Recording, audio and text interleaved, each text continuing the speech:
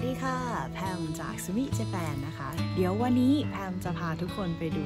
ใบไม้แดงในเกียวโตในวัดที่อันซีนกันค่ะ ไปค่ะ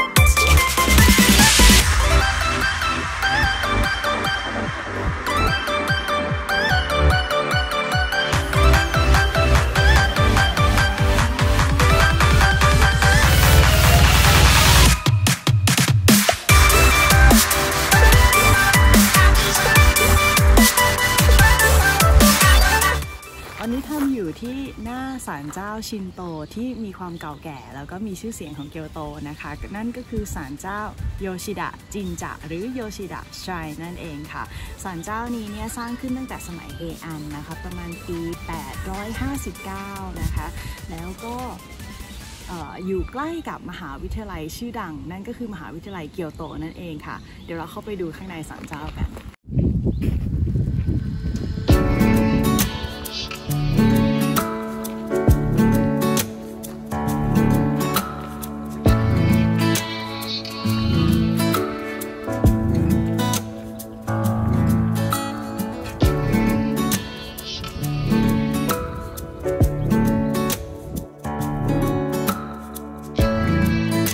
ไปไหว้ขอพรเทพเจ้ากันนะคะ คนญี่ปุ่นเนี่ยมีความเชื่อว่าการไหว้ขอพรเทพเจ้าเนี่ยจะต้องหยอดเหรียญที่มีรูนั่นก็คือเหรียญ5 เยนนั่นเองค่ะ เพราะว่าเหรียญ 5 เยนเนี่ยในภาษาญี่ปุ่นเนี่ยมันคือโกเอนนะคะ ซึ่งคำว่าโกเอนเนี่ยมันพ้องกับ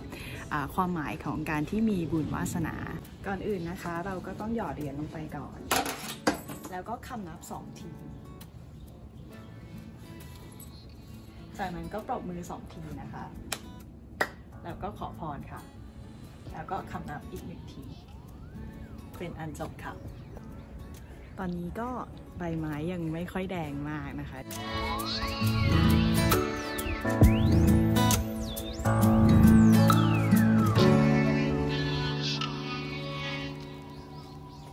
เหนื่อยวิวสวยมากเลย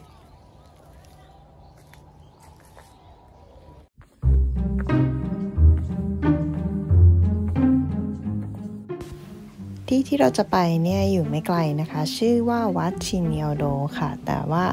เราก็เดินขึ้นขึ้นลงลงเขาดูนู่นดูนี่ไปเรื่อยนะ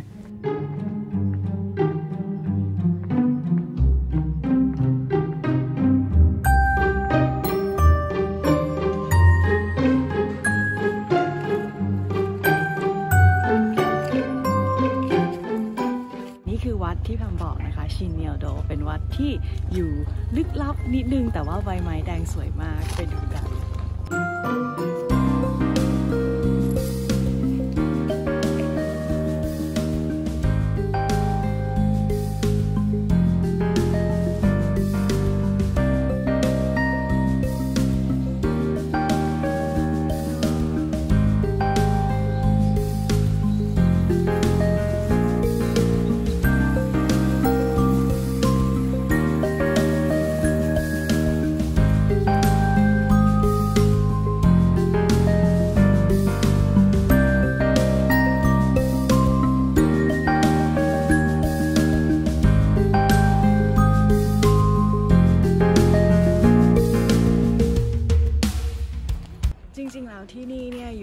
ตัวเมืองเลยนะ อยู่แค่ข้างหลังมหาวิทยาลัยเกียวโตเองค่ะ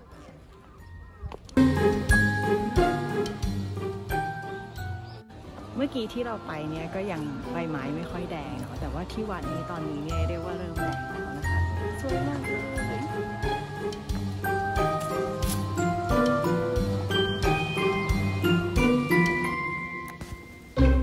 วัดนี้เป็นวัดที่สำคัญแห่งหนึ่งของพุทธศาสนานิกายเทนไดนะคะ หรือว่านิกายสุขาวดี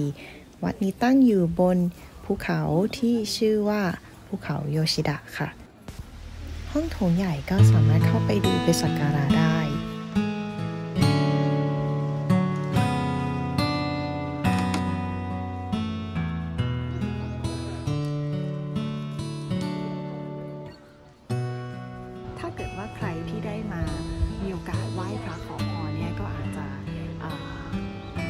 ของ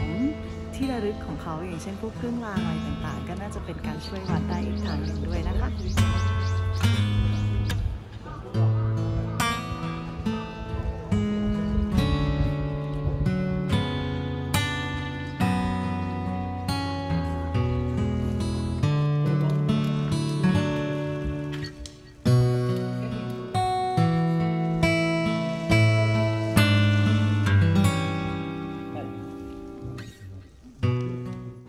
ขออวดของที่ไปซื้อมาเมื่อกี้นะคะนี่น่ารักไหมคะ อันนี้เป็นเครื่องรางที่ช่วยเกี่ยวกับเรื่องการเรียนนะคะ ตอนนี้ไม่รอดแล้วก็ต้องพึ่งโชคราง โชคลาง แล้วก็อันนี้เป็นถุงหอมค่ะ ซึ่งเครื่องรางที่นี่เนี่ยราคาก็โอเคนะคะ อย่างอันนี้ 500 เยน อันนี้ 700 เยน เท่านั้นเอง แล้วก็ คุณลุงที่ขายเครื่องรางน่ารักมาก ให้เราเลือกได้ตามใจชอบเลยคือปื้มอะ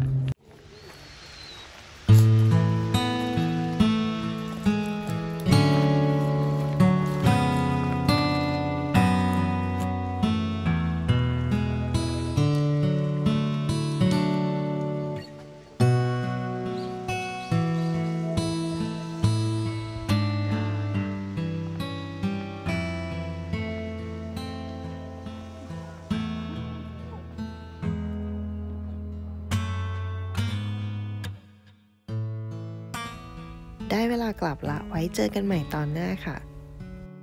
ฝากติดตามช่องสมิเจแปนของพวกเราด้วยนะคะ